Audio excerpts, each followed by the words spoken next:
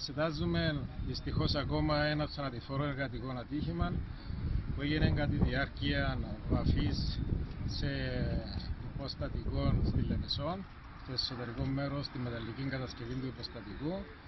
Και το ατύχημα έγινε μετά από πτώση του θύματος από ύψος 5 μέτρων περίπου.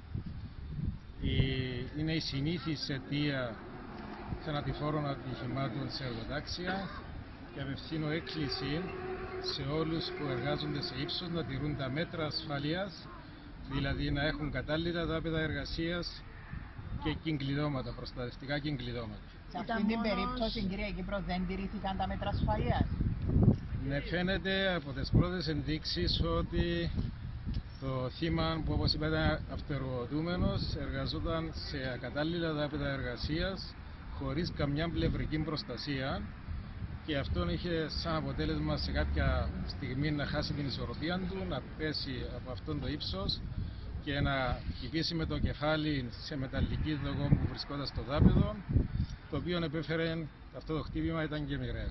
Ήταν μόνος του το θύμα. Εργαζόταν μαζί με το γιο του.